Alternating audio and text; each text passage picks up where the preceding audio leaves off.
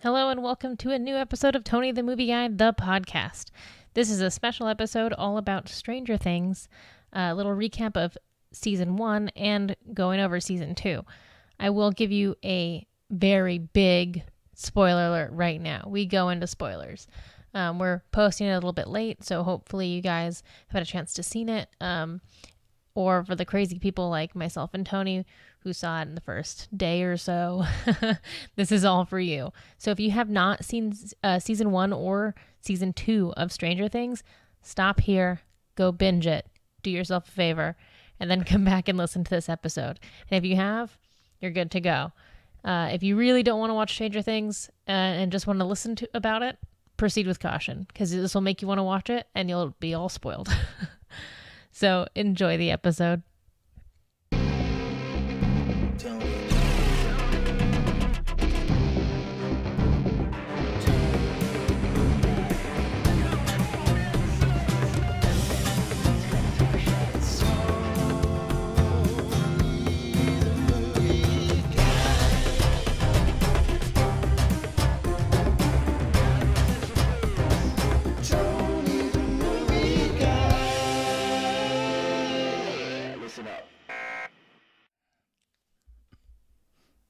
All right, hello everyone. This is Tony the Movie Guy, and Miss Money Yenny still. all right. So first of all, actually, uh, let's talk about that because that's kind of funny. So um, I just dubbed you Miss Money Yenny because you know I'm like Tony, Tony the movie guy. It doesn't really sound like Bond, James Bond, but so I was like, oh, why don't we call you Miss Money, Miss Money Any? You know. Well, your picture does look a bit like James Bond, and your That's suit. actually the you know. Godfather, but Oh. um, yeah, the logo is based on the Godfather, by the way. For those who don't know, I was It's like, deep ooh, cut. James Bond. it's not James Bond. Anyway, You're I- wearing a tux. Yeah, I know. It's from our wedding as well. Yeah. but the guy who designed the logo, it was perfect because Oh. he picked the uh, the Godfather. So yeah, that's the Godfather a logo from the movie. Awesome. Um, anyway, so um, one thing I just wanted to bring up real quick was um, yeah we, we talked about a, a, a nickname for you you know Yeah. or is And- there another one and i did a poll last week Right. um, and we got a ton of responses did you want to say something No, it's just funny because the only reason he really did a poll is because I kept actually forgetting my nickname, uh, so he thought I Well, I needed thought a you more didn't like special it. one. Yeah, that made the total guy reaction to think I don't like it just because I forget it. So I was like, no, Tony, I love it. All it's right. a great nickname. well, that was my idea exactly. That's what I'm validating. It's an amazing nickname. anyway, we asked our listeners and we said, look, give us some ideas. We did a survey and we got a lot of uh, feedback and a lot of different ideas. Um, and I thought I'd just share some of them um, as a nickname for you. Um, and no, everyone was Uh-oh. fun about it. I just thought some of them were pretty creative. Okay. The most popular one was me, but again, as we said, it was me basically saying Jenny from Forrest Gump. That's it's great, funny. but all it really entails is me speaking in a Forrest Gump accent. and sounding like a, a fool. Yeah, Jenny. Jenny. So yeah, so that and do you exactly, and your it- name isn't Jenny, it's Yenny. So it's Exactly. Yenny. I know what love is, Yenny. What's mo- what's hilarious about that and why we can't do it is that actually when Forrest Gump came out at school is what everybody would call me. Oh really? Yes, and I got so annoyed. It was like, yeah, nay, Well, there yeah, you go. nay. I'm like, no. Anyway, yeah, so that doesn't work. Uh, but look, some of these other ones from the listeners were pretty cool. Um, Jurassic Yenny, Yenny Unchained, Yenny the Vampire Slayer, which you like because you love Buff- I was Buffy, the Buffy for Vampire Slayer. Oh yeah, you were. Um, Yenny the Flick Chick, which actually I thought had a kind of cool ring to cute. it. Yenflix, which is a bit weird, and then I love Yenny Five is alive. That's good. I actually I love really that. like that That's a deep cut to Short Circuit, one of those absolutely cheesy '80s movies that I love. it's good. Anyway, so I thought that was fun. Um, we love you, listeners. Thank you. Uh, we're gonna stick with Miss Money, any right? Yeah, we decided after all that, and we really appreciate the contribution that Tony's nickname for me is what's sticking. Well, remember, it's your choice. Yes. So we're, we're going to do that.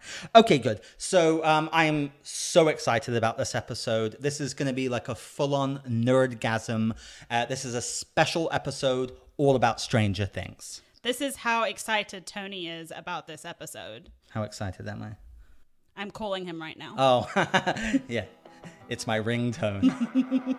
Listen to this, guys. I mean, it's amazing, though. It spells 80s 100%. So synth, man. And there we go.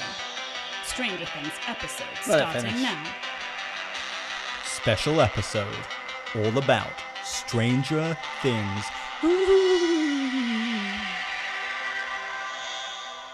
Okay. Anyway, yeah, it's my ringtone.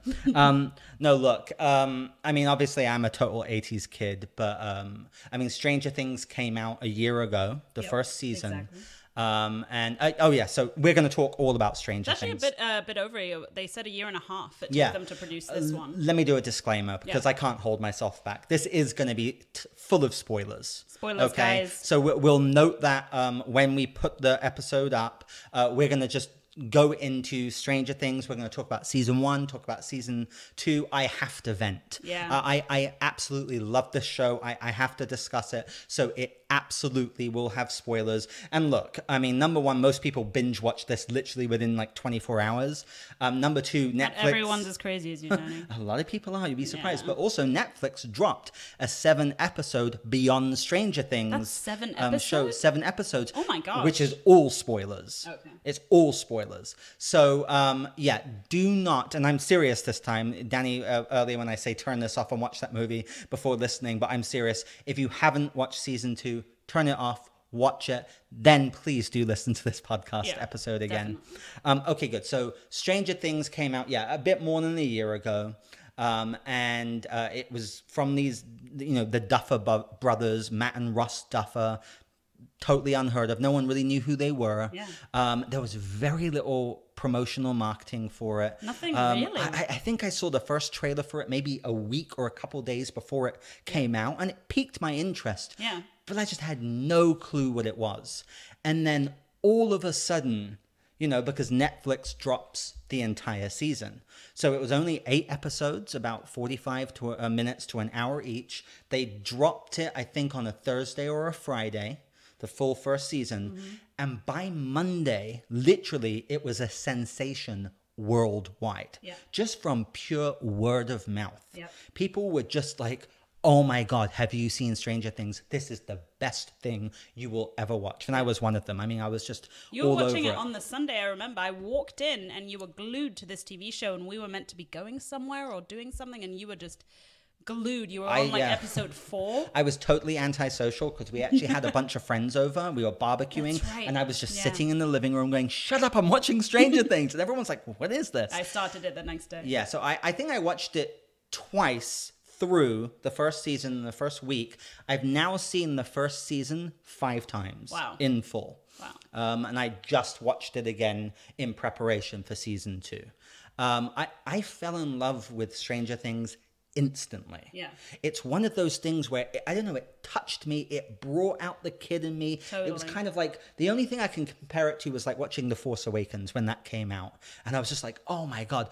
But it's almost better. Yeah. It has completely absorbed me into the world. Mm-hmm. And a lot of people will ask me, well, what's so good about it? And my answer, especially for season one, is, well, what's so good about it? Everything. I really believe that. For season one, I think it was pitch perfect. Yeah. First and foremost, uh, the show is such a throwback to 80s movies and to, uh, I mean, also just the time period, the sets, the clothing, everything. It's so well done. But, you know, yeah, it's the throwbacks to all the films that you grew up like Aliens, Thing, Stand Terminator, Me. Stand By Me, and we'll go into you know some more specifics on some of these things. Ghostbusters, Yeah. um, you know all these different things that we grew up with. It, it pays such great homage to them. Yeah. It didn't come across cheap at all. No, it wasn't like at all. ripping off from them or anything like that. It paid such great respect. And as a matter of fact, some of the people who were some of the first super fans saying, "Oh, you need to check this show out," were people like Stephen King. And John Carpenter. Oh, wow, They didn't know absolutely loved it. Yeah. Uh, I mean, we'll get to this a bit more in season two. Did you know Sean Astin, who's in season two? Yeah. He auditioned to be in it because he's such a fan. And when the the Duffer Brothers saw his audition tape, they were like, "Holy shit!" It's Mickey from Goonies. Oh my It's. Samwise Gamgee from The Lord of the Rings. Now we have to like put him in it and give him a major character Which plot I loved. By yeah he was great i'm, I'm jumping but um i really i really just wanted to kind of say like Okay, so yeah, the nostalgia, the the whole mood, the the music is incredible. Yeah. Um, it's by uh, So cool. I think I wrote it down here. It's Kyle Dixon and um, I'm sorry, some other guy. But uh, the the soundtrack is absolutely phenomenal. I, I've listened to the soundtrack a hundred times. I absolutely Wow. love it, uh, and the soundtrack is very John Carpenterish, um, but again, totally unique. You know, So it, unique. It keeps it. To, it has its own beat. Yeah. You know, um, It's not just your regular, I don't know, weird synthesizer. It's like 80s synthesizer and uh yeah, completely their own thing. it's just it's amazing. I I love the soundtrack as you just saw. My ringtone is a soundtrack, but the whole music is fantastic. Um, so the style, the music, the throwbacks, the nostalgia, um, obviously the plot and the story. It's very sinister. It's very mysterious. It's quite uh, scary and supernatural. It's got a lot of uh, comedy and drama.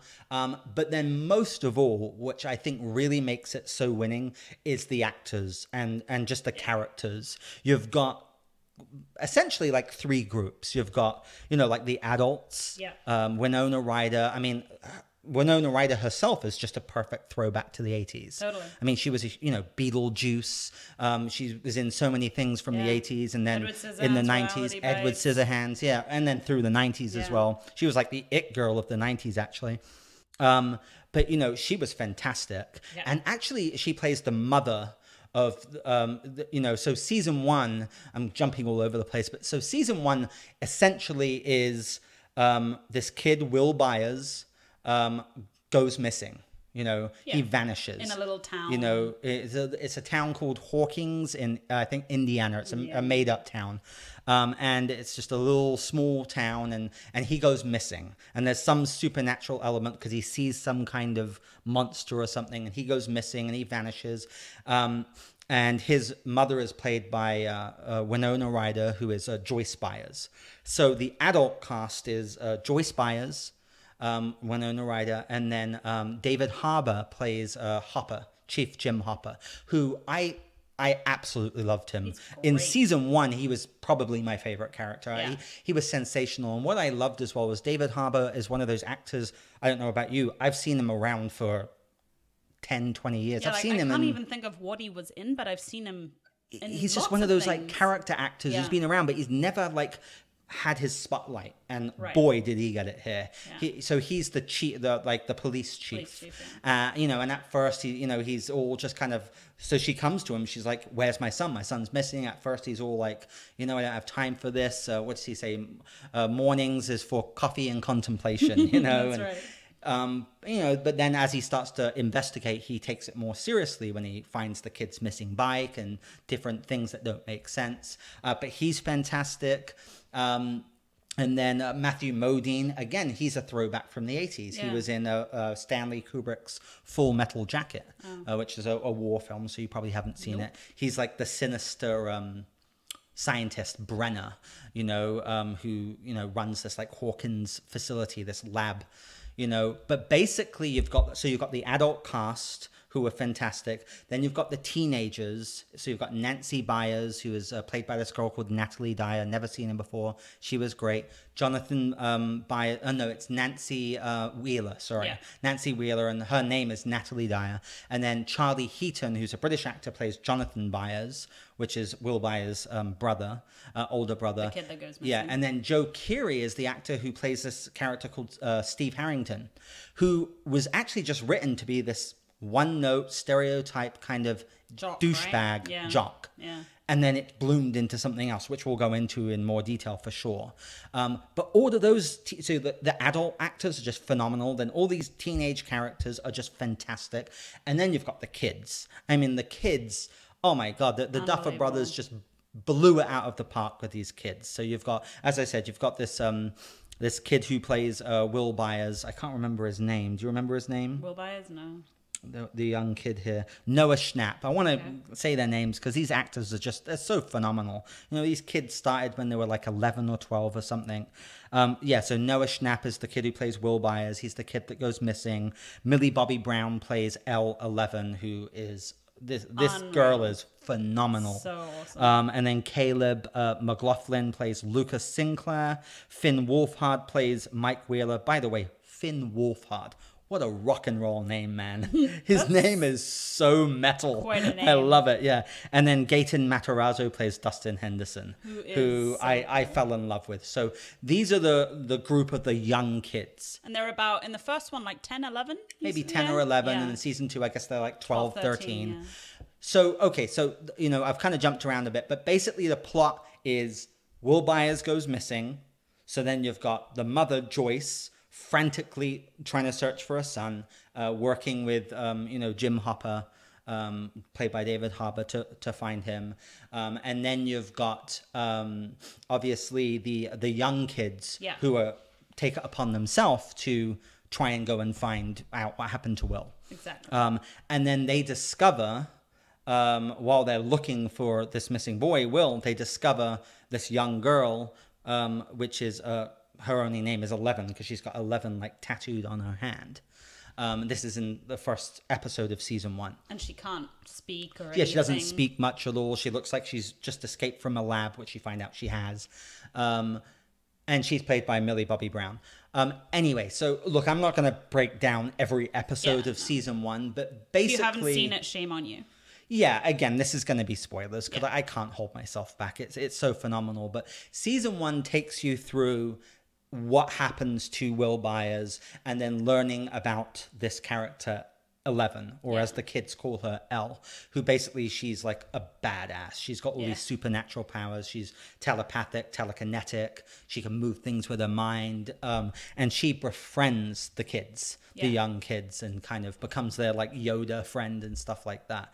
Um, but it, it just it's so good. Every episode is so action packed So and talk about binge worthy. Oh, yeah. It's so addictive. Yeah. You know, as I said, I've watched it five times through, and it's like when I finish watching Stranger Things, I'm like, what, what am I supposed to do now? I know. I try and find something else to watch. And Um, nothing's quite like that. Like I remember finishing season one, and that was the only thing my husband ever binged with me. Oh, really? Other than like you know our, our Game of Thrones nights, which you don't binge, they're TV. Right. But yeah, you watch an episode yeah. every week. But that we watched basically three episodes a night, so we were done in three four nights, and he does not do that. My Wow. husband. So when we were done, I was so sad. Yeah, no, me too. And then I was waiting an entire year for season two. Obviously, there was so much anticipation for season two. Yeah, and I don't think the Duffers or anyone actually even realized how big it was going to get. Not at all. Because again, the the immediate um, word of mouth and just it became a phenomenon. It really did. Um, and also, I, I think you'll remember this. It wasn't just the show itself. It was um, the the kids were showing up everywhere on talk shows. Yep. They they sung at like the pre Grammys. Yep. They like sung Bruno Mars and Yep. like they were so charming and real life in all their interviews. And then it was a great comeback for Winona Ryder. And then it, you know David Harbour, as I said, who's a character actor who's been around for a long time, really got recognition. Uh, the the music. Everyone was listening to the music and being, you know, that was being shared all over the place. It just, it became a phenomenon. So then, And such an unexpected phenomenon right, it that really, was what yeah, it was. It really was. It was no just, one knew. yeah, it was just it was just so perfect, you know, such a, a a- you know a beautiful homage. But again, it, it had its own voice, and every aspect of it was fantastic. Yeah. it really was. So then the pressure was on. Obviously, I mean, I remember for a few months, it was a lot of people were like, "Oh, they won't do a season two. You know, it should just stand alone." And then, of course, within a few months, Yeah, it was no like, duh, obviously. Um, you know, it was a, I mean, I think it's the third highest rated and watched show on Netflix. Oh, I'm not surprised Which for all. a brand new show that was unheard of was pretty Yeah. incredible. It was only behind House of Cards, Okay. which is their original Netflix original TV show, and Which has Orange. been going, what, six years? yeah, and Orange is the New Black. There we go. Um, but anyway, um, so then I think within a couple months uh, there was an announcement of season two, and then I think it was uh, during the halftime in Fourth of July this year they dropped the first commercial for it, which already looked amazing. Yeah. You know, they're all the kids in their Ghostbusters outfits and stuff. I mean, so already there was all this excitement created, and then they cast some new. Um, cast members. Yeah. Uh, Sean Astin was like the main one who, I mean, everyone knows him as Mikey from Goonies and Samwise Gamgee from the Lord of the Rings trilogy. Um, and then also uh, these two kids, um, uh, this guy called I think Dacre Montgomery, who plays this kid called Billy, and then there was a, another girl. I don't remember her name. The here. Oh, yeah, Sadie Sink, who Oh, plays okay. this young kind of tomboy girl called Max, who befriends the young kids. Uh, those are the new cast members, um, and then obviously all the other um, cast returns. So I mean, in season one, and again, this is a spoiler. So in season one, it's it, number one. It's set in 1983 in season one, um, and obviously the whole plot of season one is them finding Will Byers. Um, and it's much more than him just going missing. It's a whole supernatural element. There's a, a Demogorgon, you know, as they call it, which is, you know, the upside down, which now that's just a term everyone knows, Yeah. which is basically this like creepy alternate universe, Yeah. you know, where this With Demogorgon exists. and- Yeah. Where he, you know, snatched this kid.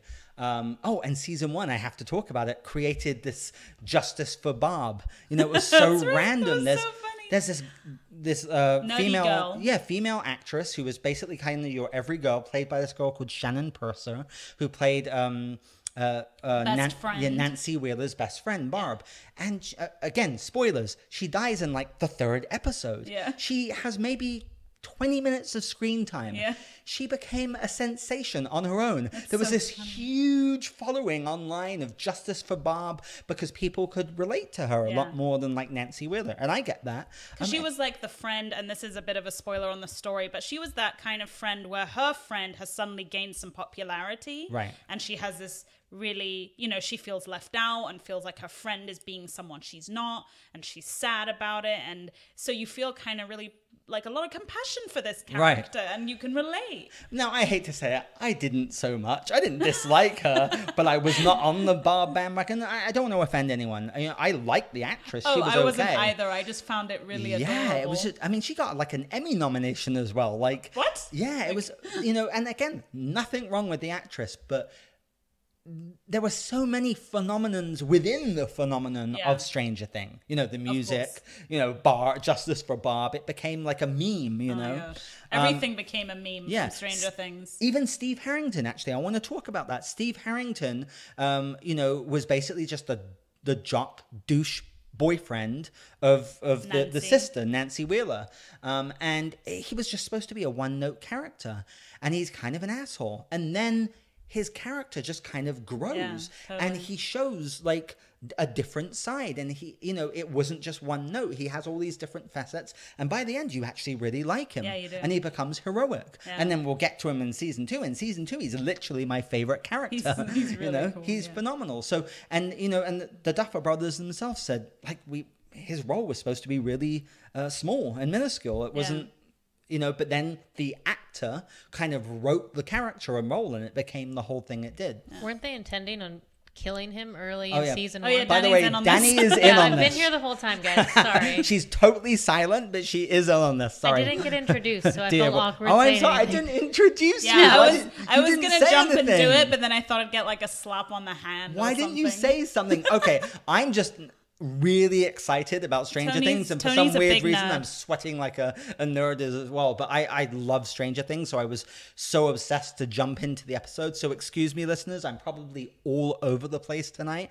That's just He's sheer geek excitement because I love the show. Dear, go ahead. What was your question? I said, weren't they intending on killing them, killing him very early on in season one, and then once the actor took the role, they You mean Steve Harrington? Yeah. Joe Keery is the mm-hmm. actor who plays and then Steve once he took the role, they were like, "Oh my gosh, we love this guy," and then they ended up keeping him on.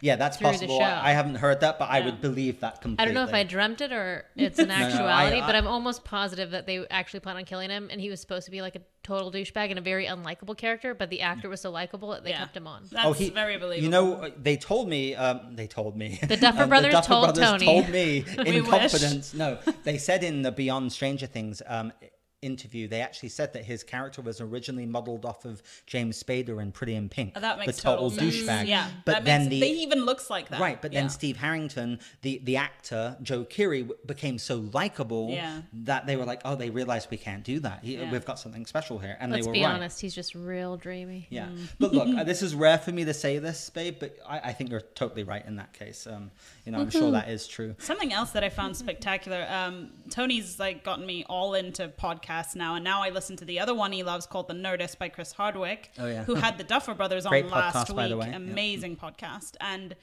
um, these two brothers were literally like they had been trying to make it for eight years, Yeah. get in the door, getting They nowhere. failed for eight they years, failed for they eight said. years. Then they managed to get a door in on the show called Wayward Pines Right, which they wrote on, right? which they wrote on and then um yeah a lot of things happened and netflix basically took a huge chance on stranger things. They were like okay we're going to take a chance on this. We really like it. Right.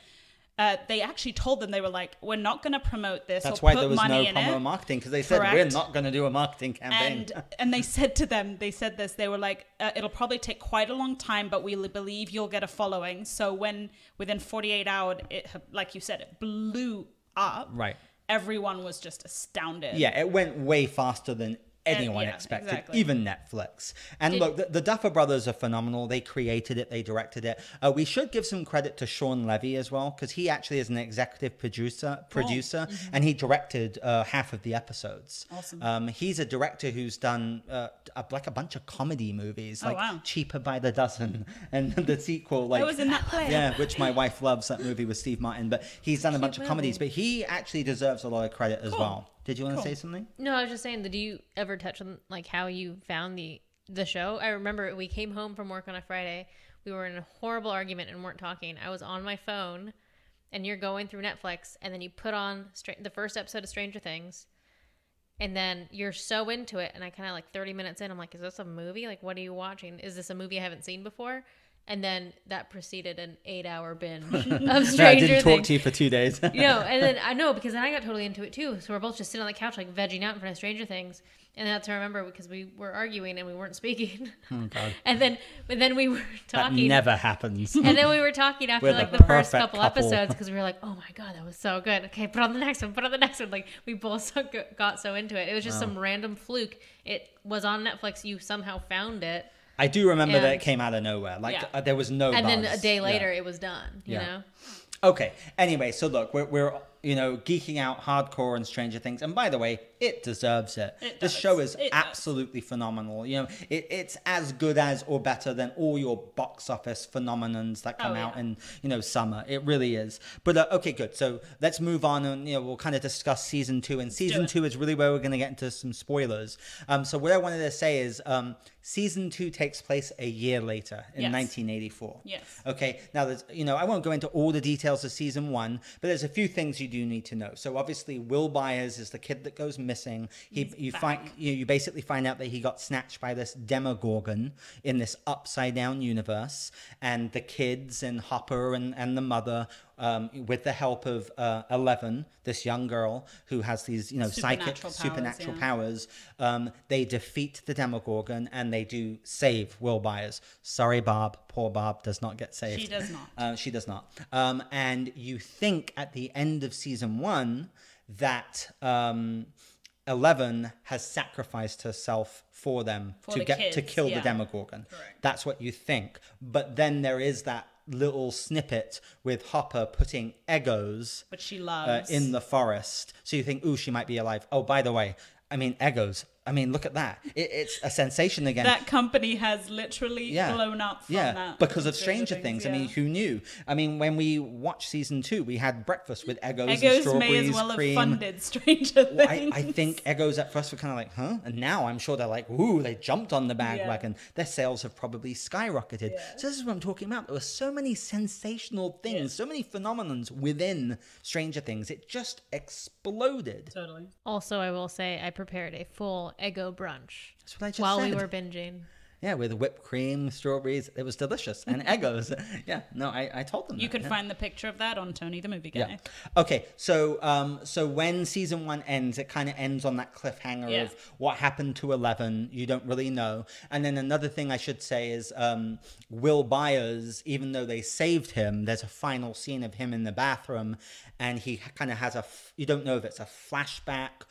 But it kind of flashes to him being still in the upside down, and then he coughs up like this, like slug that looks like it's from the upside down. Yeah. So you know, even though he's saved, he's Something's still disturbed. Something's yeah. wrong with him. And then another element I think I should cover is uh, there's a whole love triangle Yes. in season one, which the girls will love, uh, between uh. Jonathan Byers, who's the the you know God, there's so many characters here. I know it's kind of hard to keep track, but the uh, the big brother of Will Byers, the kid they save, Who's kind of a geeky character. He's more of the Um, A loner, the yeah, yeah. he's the loner. So but a handsome Johnny Depp looking loner. Yeah, seriously, put me in the middle of this love triangle, and I'm so happy. Danny Yeah. would be quite pleased. yeah, well, when Danny found out he was British, she was like, "Ooh, hello, I heard Jonathan." him speak, and I was like, my mind just blew up. Was- Anyway, so those teenage characters, you've, as I said, you've got Steve Harrington, who at first is like the douche jock who becomes a hero that you love. Super and then dreamy. you've got Nancy Wheeler, and then you've got Jonathan And they're Byers. dating. Also and then there's super Jonathan dreamy. Byers. Well, so Nancy Wheeler is dating Steve Harrington, Yes. but there's kind of there's electricity between her and Jonathan, and you think Correct. they're going to get together, but at the end they don't. She's still with Steve Harrington. Correct. Okay, good. So those are the key things you need to know Yes. about season one. So then we fast forward to um, 1984. Um, oh, and Matthew Modine, who is like the sinister scientist, uh, Brenner, um, who was the one who was keeping um, Eleven and doing all the tests on her. You don't really know what happens to him. You know, when Correct. the Demogorgon is attacking everyone, you see Dem- Demogorgon jump on Brenner and then he just kind of vanishes. You don't Yeah. know what happens. Okay, so season two which just came out over the, the weekend and uh, i watched the first episode. Friday morning. yeah i watched the first episode at 2.30 in the morning and then i binged the entire season the next uh, day. Um, and then i've now so the first season i've watched five times and i've now watched the second season three times in full. And He's it's been out for less a than a week. I am. Um, by the way i so i mean stranger things the first season pitch perfect Stranger Things season two, I absolutely loved. Now, look, I will say this: it's not pitch perfect.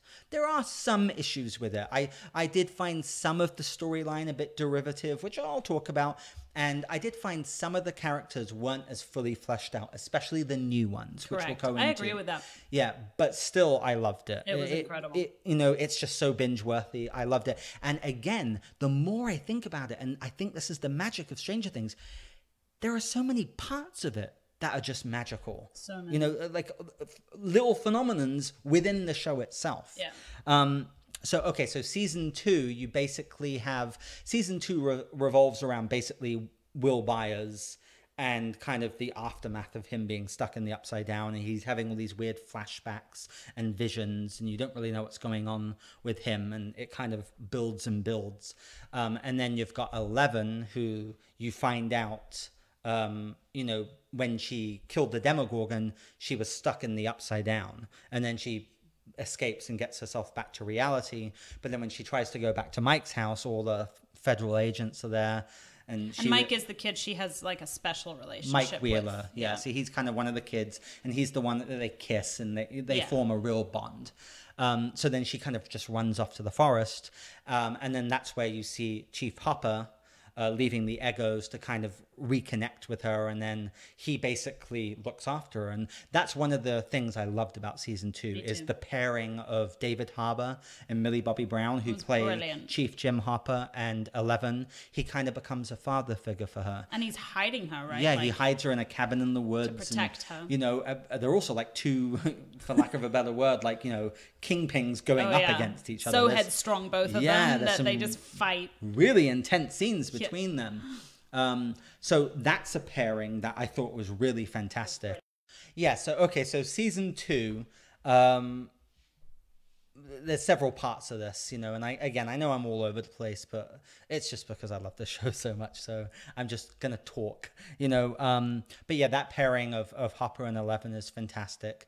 Um, but then okay, good. So let's just kind of look at where season two starts. So season two actually has a, a opening that is completely separate from Yeah. Hawkins. Actually, it opens in like Pennsylvania and you, you know you see a bunch of it looks like a bunch of guys in masks who have just come out of like a, a bank robbery you don't Something really like know that, yeah. um, and then there's this uh, like indian lady like this character who you can already tell there's something kind of sinister about her because she seems to know where they're going they're being chased by the cops or in a van She's telling them um, where, where yeah, to turn. where to turn and this and that you know and then she clicks her fingers and says boom Yeah. and then this bridge explodes and the cops all stop and crash and she goes past um, and then you're like what the fuck you know and then this cop is freaking out and then I love the- that yeah and the cops are like the other cop his partner's like what's wrong with you and then doing? yeah and then it pans out to the bridge and there's nothing wrong with it it was Yeah. all make believe so and then it pans to this character who later you find out is called Kali,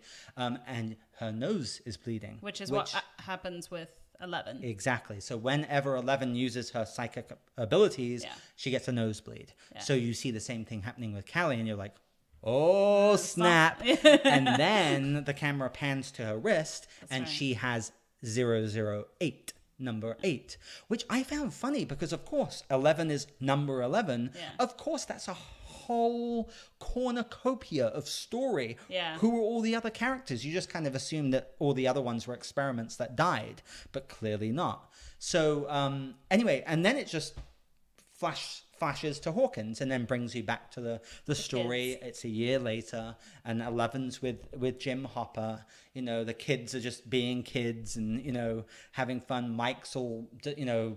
They called him emo Mike, or they called the actor. I think that uh, his name was uh, Finn uh, Wolfhard. They called him emo Finn because he he was being so emo because he's all upset about Eleven He being misses gone. her. right, he misses is her. upset he can't reach her. Yeah.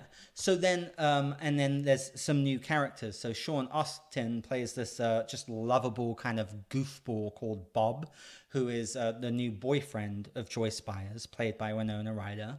He's just this lovable I guy. love He, yeah, he works at sh- uh, Radio so Shack. lovable. He is.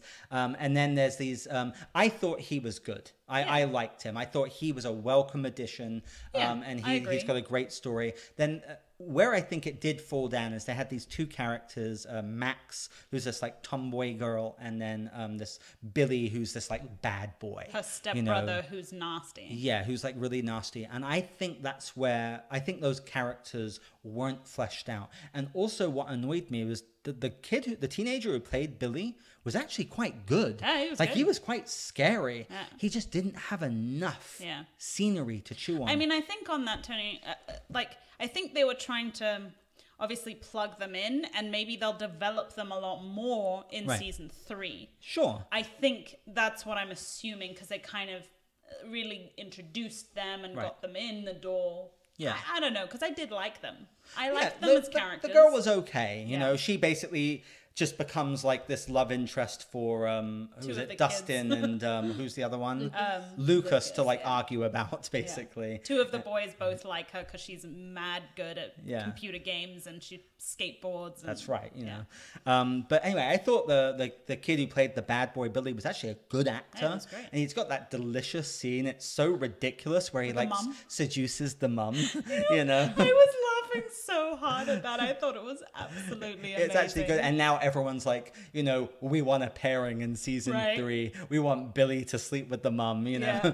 uh, she's the mum of Mike Wheeler, right? He's yeah, like, wow. Mike and Nancy. I yeah. didn't know Nancy had a sister. Yeah, It's he, so like, creepy. He bites that biscuit like, Yeah, You know, and she, like- she's like in her, her robe, having had a bath, and Yeah. it's it's actually She's almost as if it's like alluding to a porn. Yeah. the way she like comes to the door, and it's this young guy, Yeah. and she's sort of it's really Well, funny. she was just reading a romance novel exactly in the tub. the way they position it exactly. It was such a random scene, but it actually It kind of worked. really People love it.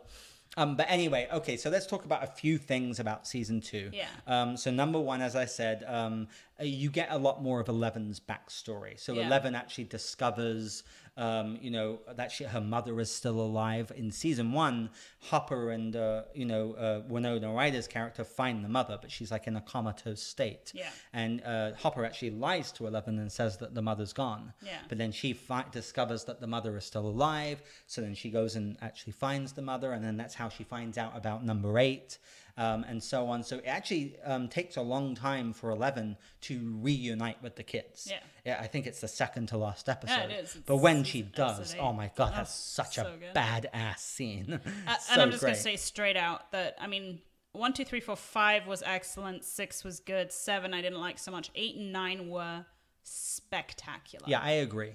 So Spectacular. yeah, so I actually think I think the first six episodes um, are solid. Yeah. It's funny you said that about episode seven. So a lot of critics and a lot of people have been divided on episode seven. Yeah. So there are nine episodes to season two, and they all pretty much follow a structure, which is this whole story of Will Byers, and then there's this shadow monster that he keeps having visions of that is slowly taking control of him, and and and you know Eleven's whole backstory, and that kind of follows a structure. Yeah. But then episode seven is just kind of a standalone episode, which is basically all about 11 and then number eight, Kali And it's completely separate to everyone else. And for whatever reason, that drove people crazy. I really liked it. I got bored. I know it's funny. Yeah. So a lot of people didn't like that. They thought it was just unnecessary, and Yeah. I I thought a it was necessary for Eleven's storyline, but b I I actually kind of I just thought the episode was fun itself. And again, in in the Beyond Stranger Things show, it, it you know it was kind of inspired by like The Warriors, which is another kind Mm. of urban street gang film from the from the eighties. Okay. Um, which I actually love that movie. It's like a cult film, so maybe that's why I enjoyed it more. And I liked the beginning of it. Like, it, I liked that she was exploring going to find her mother, Right. and different things. And I and I and I liked the concept of them getting together. But I, I told you I was not a huge fan of the actress. Right.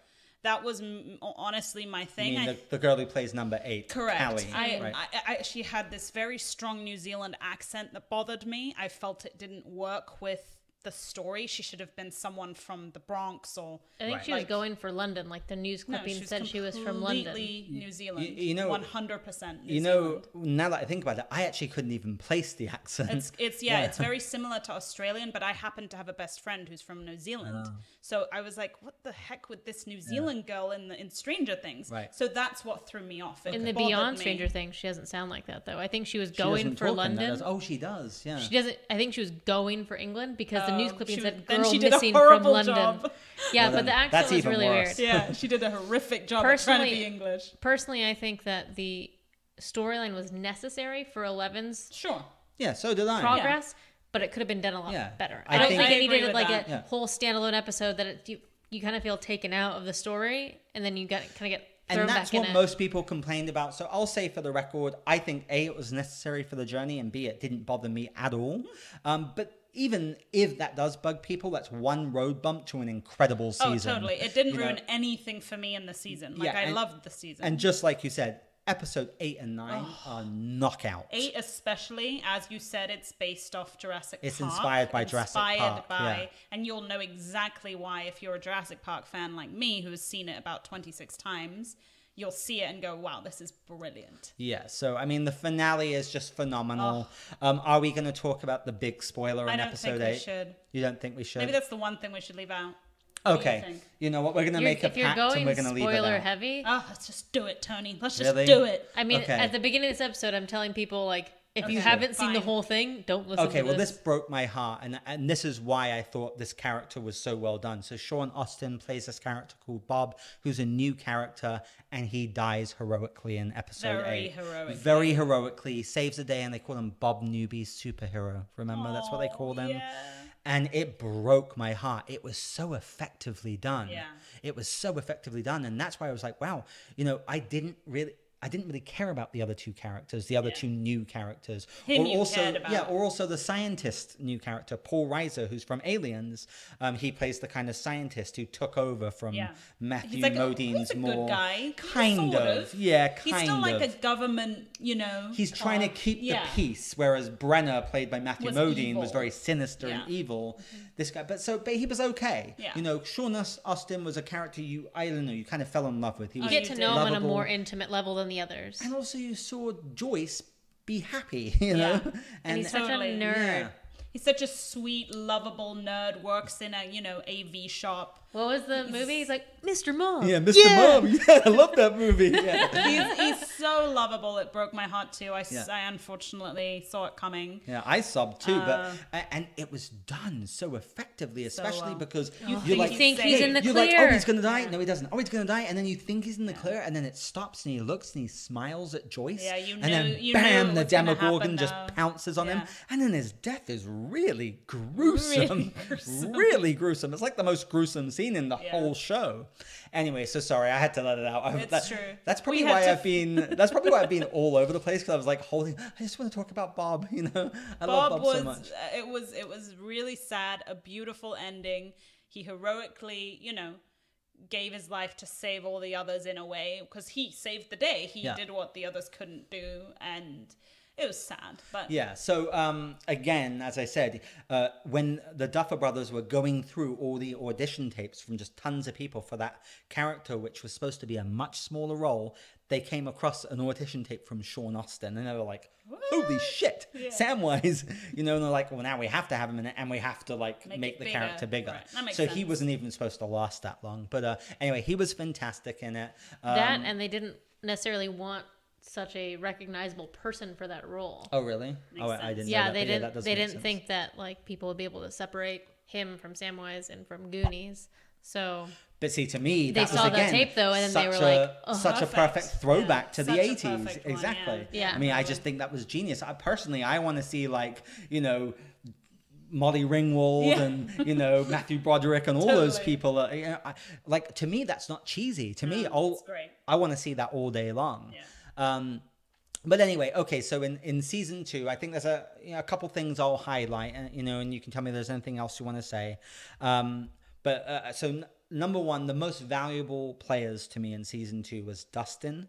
Uh, I absolutely, he was my favorite. I loved Dustin from season one. He was kind of the comic relief and adorable. But in season two, his character really gets a lot more. So Yeah. number one, you've got check this. out these pearls. Yeah, whatever he gets does, I can't do brace it. is off and he has his teeth. Yeah. It's so amazing. Well, first of all, he has this whole relationship that he uh, get develops with the polywog, That's you right. know, which it doesn't really answer the question, but you think it's the thing that um, Will Byers coughed up at the end of season one. yeah, Um, which would make sense. It would connect. I don't think so. he so. keeps it well again. So you're not Related. you're not sure. You don't really know. I think Well, it's it a year later. Yeah, and it I- grew so rapidly. Yeah, rapidly. I think it was, but you don't know. Yeah. You just know that it's, you know, well, you find out what it is, but you know that it's something weird. So he finds this like little like slug baby monster thing, and then he calls it Dart from, you know, D'Artagnan. D'Artagnan, yeah, the Three Musketeers, From the chocolate bar. and then keeps it as a, you know, keeps it as his pet, and then it grows into a little freaking demogorgon That eats you his know cat.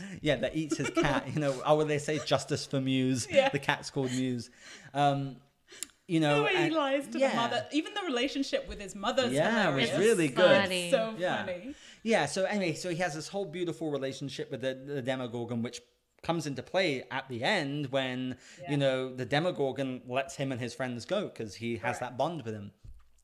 But Demo dog. Demo, oh They yeah, he nicknames. demodogs. No, he does. he does. Dustin. No one else does. Yeah, he, he nick, Demodogs. nicknames them Demodogs.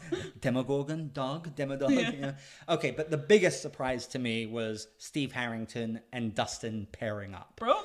Yeah, I mean, to Such me, a good it was just the best thing ever. I think that starts in like season, uh, episode five or episode six. Five, six, yeah. Yeah, and the Duffers talk about this. They were like, well, Dustin kind of gets his heart broken Yeah. because Lucas goes off with Max and he's kind of on his own, you know, with the, the demodog that he's trying to find. And then Steve, again, this is a spoiler, breaks up with uh, Nancy Wheeler. Well, he hasn't officially broken up with her. well, she's already banging Jonathan. no, eh, yeah, but I mean, she they have a fight, and then she goes off with Jonathan. Actually, I should let you girls geek out about that scene because that was kind of a really cute Yeah, because they have basically she does the old like she's really upset about things and isn't happy about this whole Barb, uh, the fact that they have to lie to her parents about Barb being dead, gets all upset, gets drunk at a party, and then you know in her drunkenness declares really that she doesn't really love Steve. Yeah, so she breaks up with Steve. That's not what I but meant she though. doesn't officially break up with him. I no, meant, but it's we're thinking about it as adults. You have to think about it as Yeah. people in high school. It's Exactly. like I hate you. We're over. hate you. I and they don't you. even have to say you.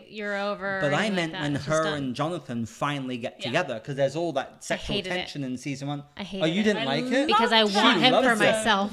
Oh, so did you actually hate it or not? no, it was very adorable the way it was they did so it. cute. So talk about that for a second, So and they- then, then I'll so talk about the bromance. Nancy and Jonathan are off basically. Um, they they go to find this um, basically like a what do you call him and one He's of those. he was reporter. an he was an investigative reporter. reporter Conspiracy theories. that's what I wanted for to the say. Chicago Sun Times, and he gets hired by Barb's parents to investigate her death because they think that or her disappearance rather. Yeah, her death. Yeah. uh, well, actually, her disappearances and her death is being kept under wraps. Yeah. Yeah. So they go off to investigate that, show up at his doorstep while, you know, Steve is back home with Dustin doing his thing, um, helping him, and they end up spending the night.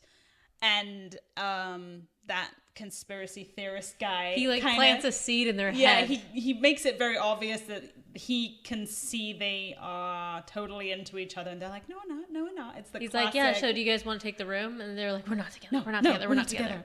And then obviously they I'm do just sitting back and letting you they guys do the old she's this. in the bedroom he's on the couch she Looking at the door. she walks up Oh, he walks up they turn around and then they come back and like bodies slam together and it's all passionate Bodies slam together is the best way to describe it. That was very well described. Um, it was actually a really cute It scene. was adorable. It was a really cute scene. and, and pg-13 so it was course. very cute And then the morning after scene. is so funny. oh my God, say that, Danny. I'm going to let you say that. That, was, was hilarious funny. I forget breakfast. the exact line. The guy, the Oh, news reporter pulling guy, out. is sitting Oh, there, yeah. and he's Oh, like, Pulling yeah. yeah, and he's like, How so was the Jonathan, pullout? How was the pullout? And she's like, she They both, like, spits choke up on her- their her orange juice. meaning the pull-out And he's couch. like, the pull-out sofa? sofa. Was it comfortable? it was so funny And then that he's like, whole "Oh yeah, it was fine." And then he's like, uh-huh. "Yeah," and he has this like creepy, like, "I know what you guys did," smile on. you guys and she's all smiling. So Yeah. They they were meant to be together. So I was very happy for that to occur. Although you then really start to feel bad for Steve because he's so lovely now. I we love- like him. I liked him at the beginning too. Like I he was a didn't douchebag at the really. very Oh, he was quite douchey. Yeah. at the very beginning, but then he Mm, comes no, back of- in and He was you- douchey basically until towards the end after the whole fight when he gets pummeled. Yeah, and then he buys Jonathan a new camera because Yeah. he, him Then and his he- douchebag friends That's the last it. episode. Then he was great. yeah, And you loved him. And, Yeah, but through so this you love one, him. I don't you want to break kind of up. liked him. Yeah. No, you did. Oh no, I, I love Steve from the beginning, and Yeah. you, absolutely. Even though you're right. I mean, again, I'm not into all the woo romance, but you're right. Uh, Nancy and Jonathan were they they belonged together, Yeah. so you were very happy that they were together, but you did feel sad for Steve. Correct. Um, so Although he has now a best little buddy. Well, so that's what I was going to say. So the Duffers were kind of like, so what are we going to do? We really want to give Steve Harrington, this character, more and, and Dustin more. Um, but now they're both kind of loners. Let's put them together. And it was such an odd and surprising coupling, and it works so well.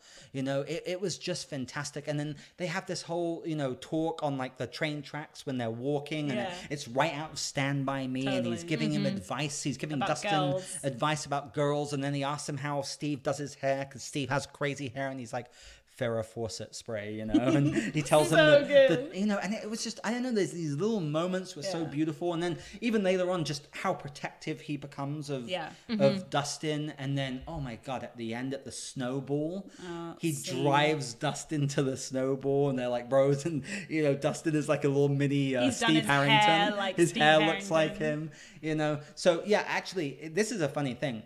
My favorite part of the entire season two was that 17 minute sequence in the snowball Beautiful. at It- the end, the last episode. All the action, all the explosions, all the mystery and suspense. There's just this beautiful whole sequence. So again, uh, in the end, in season one, Mike Wheeler asks Eleven if she'll go to dance with him at the snowball. It's like a s- it's You like a middle school dance. Right. Oh, I missed. I forgot. Yeah, that, that's in actually. season I one. forgot so that, that's yeah. the reference. But then she sacrifices herself, you think, so it doesn't happen. So then there's this beautiful throwback at the very last episode. And again, so we're going full on spoilers here, but it, to me, it was just the best scene. beautiful. Eleven's And the come music they used, the two yeah, songs. Yeah, it was Police, Every Breath You Take, Yeah, and Cyndi and- Lauper, yeah. Time and Time Again or Yeah. something. Yeah. Um, yeah, but anyway, so I mean, Eleven's back now. So then she goes to the snowball with Mike, and that's beautiful. And Lucas is now hooked up with Max, and Will seems better, and he's with a girl. But then Dustin comes Yeah, in with his Steve. Harrington hairstyle, and he's all confident, and he goes up to this girl that he has a crush Popular on. girl. Yeah, and she's like, ew, you know. And then he's like, Goes up to another girl. and then he's one. like, he puts his head high, and he goes up to another girl, and he keeps getting blown down. Because Steve said, like, you know, go Yeah. just Pretend go with don't confidence. You don't care. Be confident, you know. And then there's this shot, which actually to me was the most heartbreaking shot of the entire show, of like Dustin just sitting on his In the own on the bleachers. like crying, you know, because no one will dance with him. And then Nancy Wheeler, Bless and, her. and that made me really like her Oh. character actually. Totally. Um, sees him on his own, and then she takes him and dances with him, and he's all happy. It was and everyone's looking Ugh. and the popular girl's like whoa she's Yeah. dancing with him and he she just grants him like she she gives him so much love in like in a and she tells him uh, you're my favorite of yeah, my, out my of all of my brother's friends, you're my favorite. It's such a perfect homage to all those Yeah. John Hughes films of the 80s. Totally. I mean, you know, Ferris Bueller's Day Off, Breakfast Club, Pretty in Pink, 16 Candles. It really reminded me of that. And again, I'm sure that's what they were looking at. But again, it had its own beating heart. I, Yeah. I loved it. It was my favorite sequence. absolutely Do you want to say something? Oh, you kind of went past it, though. What did you want to say? Well, I was gonna say, remember in season one where he's like goes and like first episode of season one goes and offers her a piece of pizza, and she's like, "Remember, she used to hang out with us." Like he always had a great, like caring likingness talking about? to Oh, her, Dustin. to Yeah, Nancy. that's true, And so it kind of comes for full circle when she comes and helps him out. Like, Oh, I'll come yeah. dance Totally with you. The very first mm-hmm. episode, That's Dustin right. like wants to give her pizza, and he's got that big Last dorky slice, smile. Nancy, and to she like Nancy. slams the door in his face because she's a teenager now. Yeah, she brushes Yeah. him You know? off. You're right. I didn't even That's think about that. That's so really it comes true. full circle to I think that that's the with him. perfect thing was about that 17 minute sequence or whatever it was that it was I mean it's so gratifying because So it closes gratifying. everything like Lucas gets the girl fine whatever Dustin Yeah. you know like feels better about himself and dances with Nancy which kind of brings it back to season 1 and Will is not you know a girl comes up to him and say you know zombie boy or whatever which Dance is like as a derogatory term towards him because of what he went through last year But he seems then happy. But then asks him to dance. So it's like he's getting kind of included Yeah, back exactly. into that whole Yeah, and then- social Normal structure. And then you've got Exactly. Hopper and Joyce outside sharing a cigarette together. And they have a whole past from their high school Well, it would be too soon for them to connect up because Bob had just died. But I'm sure season It three they'll connect up. no it, it would Do be it in bad form like i was thinking about that i was like if they had like kissed at that moment that would If be they kissed, really it'd oh, weird weird. And then, of course, in true Stranger Things style, mm-hmm. everything seems great. Wonderful. And then it just flips upside down and it shows The that the school, whole yeah. upside down is still there Yeah. and that shadow monster is still lurking underneath. Well, I don't think the upside down is going anywhere. no How because can they you just close closed the gate Yeah, They and closed then the gate. closes the gate. Yeah. So I, I loved. Oh my god, I loved the end. Funnily enough, those uh, episode eight, I could rave on about longer than even that. Oh, it was I, fantastic, I yeah. loved it so much, and my heart was beating so fast the the way they did that. Yeah, it was entire non-stop. sequence. So those two were my favorite in the whole whole whole season. Well, they put a nice little bow on it. And they leave you Oh, like you're you feel so satisfied, and then it flips upside down, and then you're like, oh no! Now then- another year, And now you're anticipating season three, like Yeah, right which off they'll the definitely do. The Duffers, Oh, yeah. Duffers had said they're, they're they're looking at a four or five season arc, which I think is perfect. I, That'll you know, be about I don't want because I think it's a mistake. When, sorry, Annie, but like Walking Dead when it just goes Don't you on and on start and with on. your diss of The but Walking I, Dead.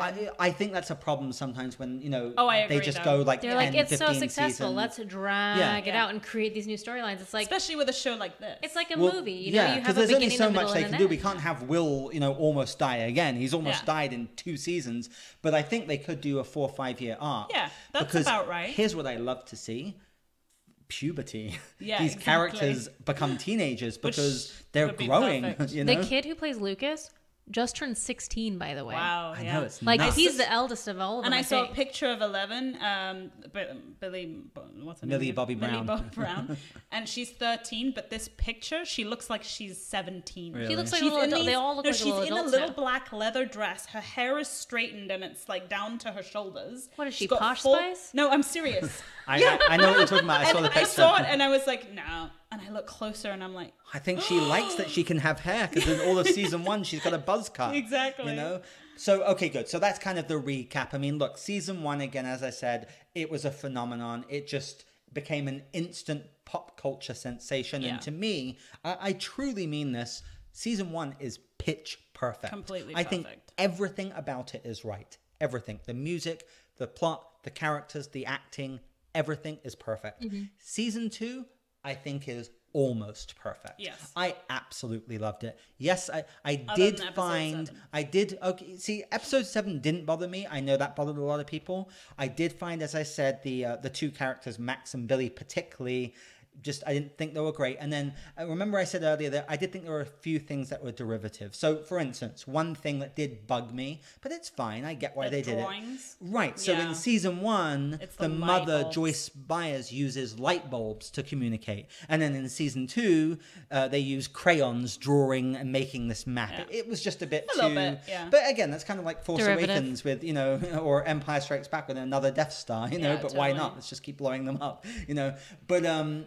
What it wins in is again the story was fantastic, the throwback, the nostalgia. You know, you've got Ghostbusters, Jurassic Park, Terminator, yeah. all these and to me, the, references. the, the kids got even stronger. even better. Mm-hmm. So as I even said, better at acting and Right. some of the scenes like these kids these are not like these are kid actors where you're like wow these kids can act Thanks for reminding me, because Noah Schnapp, the kid who plays Will Byers, in season one, he's captured, so he's not in most of season one. most of it, yeah. In season two, He's phenomenal. He acts his pants off. Yeah. Um, but it's kind of unfair to put one spotlight because they're all great. But They're he all is. amazing, yeah. You really just see how great of an actor that kid is. I He mean, was he incredible. just looks so terrified, and he does it so well. Mm-hmm. Um, the fits he has Yeah. the the because he uh, and he gets kind of because possessed he's by the shadow possessed by the evilness so he has to be the shadow monster and himself and it's taking him over and he his his his fight with as it's taking him over Yeah. his grief it was oh so Yeah. good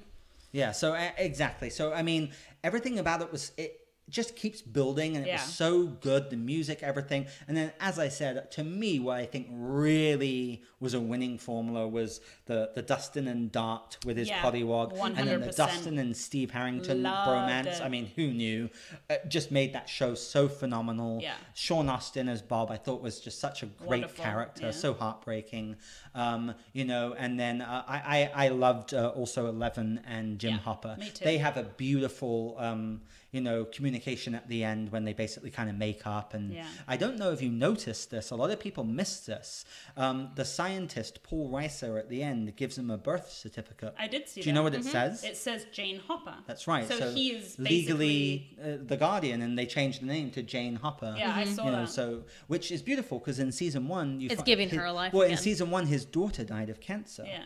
You know, and he was like totally distraught by Mm-hmm. that. And you get that whole backstory in season one. So in season two, it's kind of he has this relationship where they're kind of butting heads, but at the end, you know, Yeah. he's like a father figure. So Well, the button heads because she's a kid. Yeah. She's a kid and Yeah. she realizes A that very like strong that she's Yeah. robbed essentially of her childhood. She can't leave her house because she, you know, because of her abilities or whatever. And he's this fighting- is this gives her her childhood yeah, back. there's that whole scene where she has teenagedom. that like Yeah. psychic tantrum Yeah. when you know they argue and the she's windows like. explode yeah, telepathically throwing books and stuff at him and Yeah. tables and If like- I could do like that a- when I was a teenager and when I was going through puberty, I would have won every argument with my parents. And And if you could And do it- that now, I'd be screwed. you would be very fighting screwed. with the grief like he's almost letting out his protectiveness of having lost his own child i mm-hmm. feel on her a little Oh, bit absolutely. oh, That's- and going like over and that's what beyond I too. over and beyond yeah, and he He's, says, like, admits it hovering. at the end Yeah. he admits what he did wrong Yeah. and goes you know this is the I'm here to keep you safe. yeah Yeah. and, Yeah. and then they uh, their relationship to me was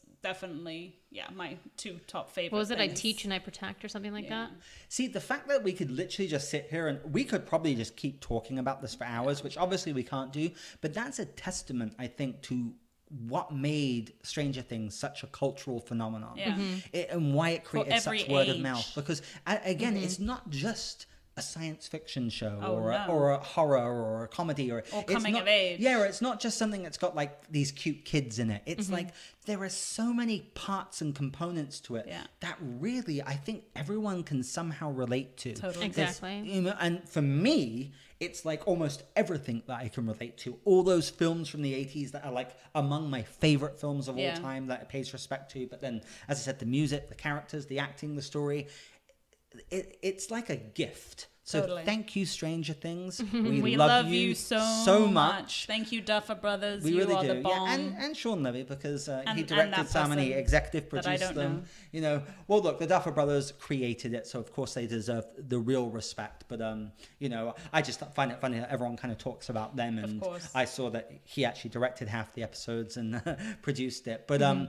It- The whole thing is a win, Yeah. and uh, now we have to wait a year for season three. So thanks so how for many that. how many times are we rewatching season two by then? Well, as Tony's I already said, gone, like, three I've, times? Yeah, I've watched it three times. So I've in watched less it than one a and a half. I'll probably give it a few weeks and I'll probably watch it again. I'll, I'll watch it five times easily Yeah. before season three comes out. Season three, I'm going to assume will drop around the same time next Yeah. year. Probably. Mm, That's what I think. They said year, year and a half on Yeah. that podcast.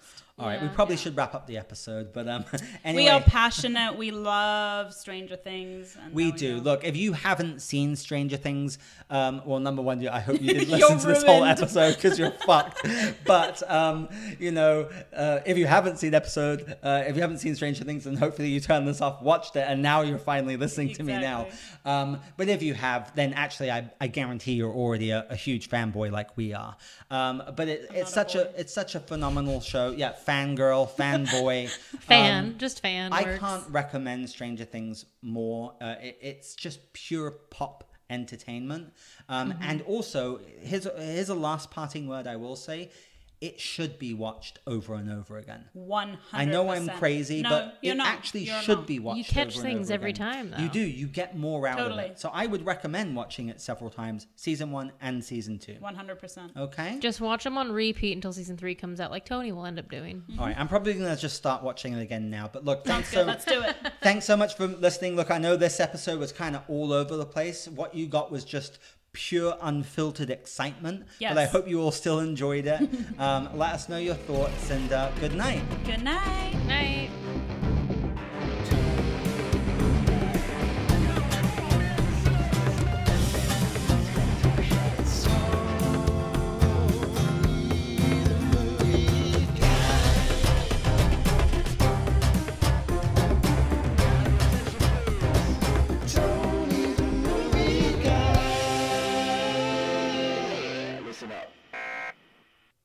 Thank you so much for listening to another episode of Tony the Movie Guy, the podcast. Want to remind you all to follow us on all of our social media Facebook, Twitter, Instagram at Tony the Movie Guy, and email us in at Tony the Movie Guy podcast at gmail.com. Also, please, please, please leave five star reviews on iTunes. Those are really, really helpful uh, for us to get the podcast out there.